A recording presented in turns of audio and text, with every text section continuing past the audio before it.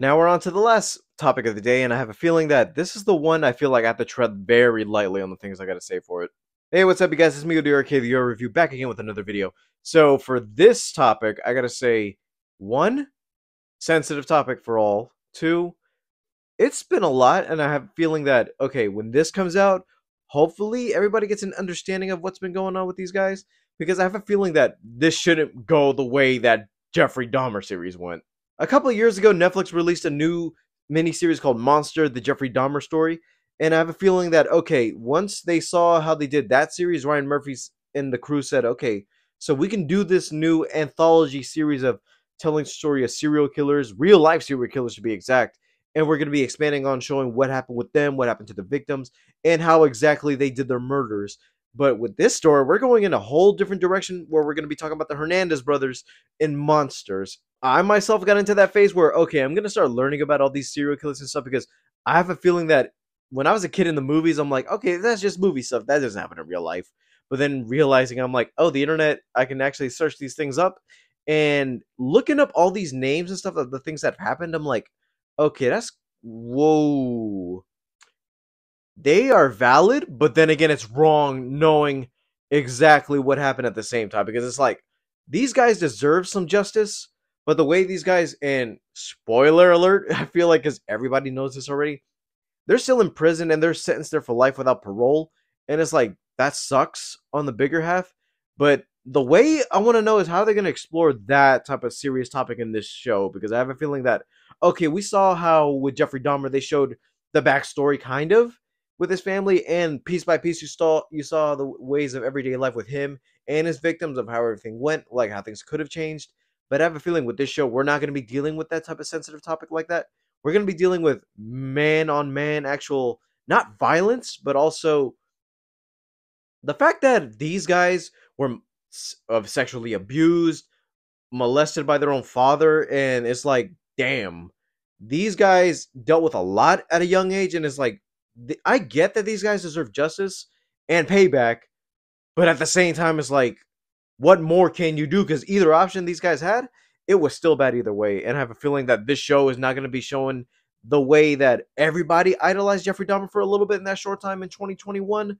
I don't know why that happened because for some reason I don't know why they thought that was the popular thing when I'm like, uh, no, I'm from the early 2000s and we we're more mature than some of the stuff you guys are doing these days on TikTok. With all that out of the way, let's get into the trailer.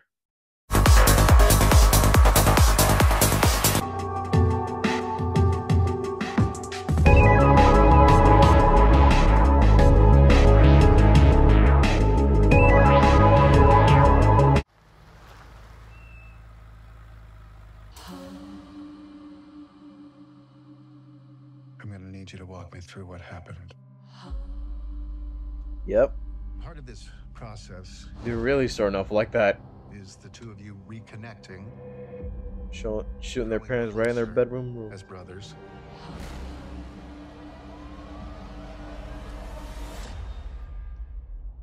Erik and I killed our parents together, so I'd say that makes us pretty close.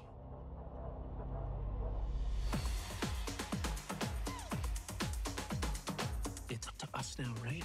Uh. Proud of us. They would be proud of us. Weird tone shift for the song. I thought that getting rid of them was gonna make me feel better. I'm having these nightmares. You're not getting it. You don't fucking get it, Erik. We did it. We fucking did it. Hold on a minute. Did you just order a grilled cheese and tap water? Yeah? How many shrimp do you have? Like an actual number.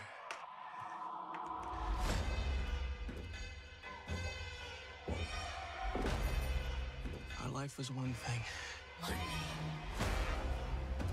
And we decided we weren't gonna take that anymore. Unbelievable. Hmm. Starting right now. We're gonna demand more out of life. And we are never gonna fucking go back.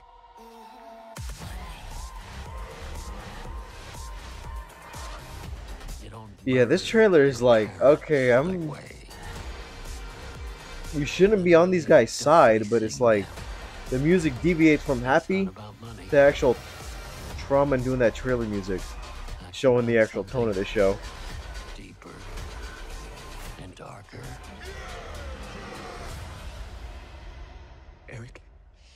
Yeah, they're gonna show that that. they would be proud of us.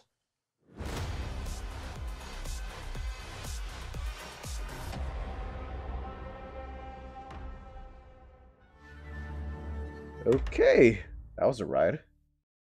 So yeah, this trailer is not the type of tone I expected for this thing.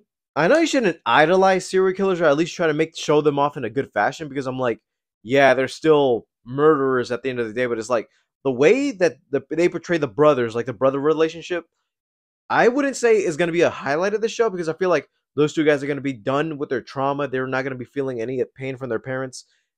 And that's the thing I feel like, okay, that how are you going to explain that? Because you do see a snippet of the dad just shirtless yelling at something. I'm like, okay. So that tells me this is not going to stray away from the actual abuse and some of the stuff that they were showing because I feel like, okay, with Dahmer, you had a limit showing the murders. You showed one of the heads inside a fridge. You got to show the beating of him in prison, especially the fact that they actually showed accurately how his face was portrayed at the very end of that thing. So I'm like, okay, they showed that off. How far are they going to go in this show specifically? Because I know, I know there's been a lot in um actual TV shows that they show off. Okay, due to graphic sexual content, we are alerting the viewers first. We're going to be showing that this is a serious show, and hopefully enough, all this doesn't affect the way you see entertainment, and hopefully you can actually support somebody if you're in need. Hopefully, this show at least shows that okay, there's a good side to this, and this isn't just like torture porn for the sake of it.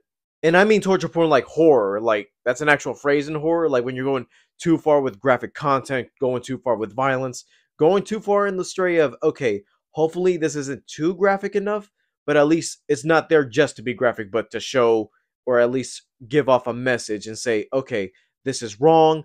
If you need help counseling stuff about this, hopefully the show is there to say, you know what, I need to look into some resources and actual help so like that they can help me in my real life. But part of this trailer actually gives off a bit of Tarantino Once Upon a Time in Hollywood vibes.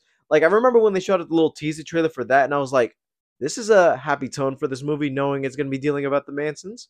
But I kind of like the way the trailer montaged the song. Like it showed them at their height, like okay, they're they're at their freedom, but then slowly as they're getting into the court cases, slowly as they're getting into their descent of, yeah, I'm still thinking about them no matter what. I'm still having nightmares about my parents. The song descends into a whole state of okay, yeah, fun. It was fun while it lasted, but you're still dealing with the reality of your situation, and you didn't make things better, even though you killed them.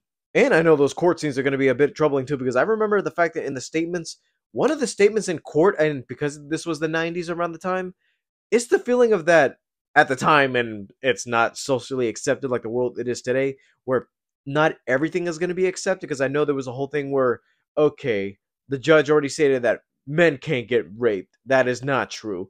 When I'm like, uh, bullshit. Even in prison, that happens. And it's like, okay, so just because you're putting this in the state of court and law, you can't also acknowledge the fact that that is a possibility of ha- could that could happen, and that they were abused as kids too. So it's not like something they would stray away from. And I feel like okay, they can't acknowledge that uh, it was the '90s. It was a different time, and now that we're in 2024, we already know that okay, there's a high chance of all this possibility of things happening. But in the 90s, I know it's going to be a struggle when people watch this, and it's like, yeah, bullshit, that ain't true. But me knowing as a kid from the early 2000s is like, I know that this everything could happen. Just because somebody says it in court doesn't mean it's not going to happen in real life. Who knows? Like what the law could have been if the, all that was all the intuitions of what we have in the law today could have been accepted back then. That would have been a high chance of maybe it's true.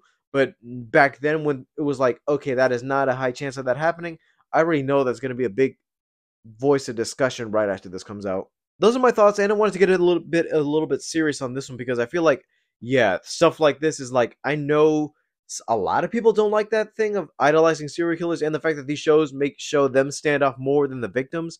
That was one of the things with Jeffrey Dahmer, and I feel like okay, when that show came out at the height of its time, everybody watched it for like a week. It was a one time watch, and that was it. But then after that, with the whole impact on Halloween and the fact that everybody was idolizing him, buying the glasses, dressing up like him, doing this crazy things he did in school. I'm like, okay, that's disrespectful. I, we didn't even do that in our school. And the fact that people were like, you know what? I have a feeling that when this came out, they were just gonna have it be a one-off and done.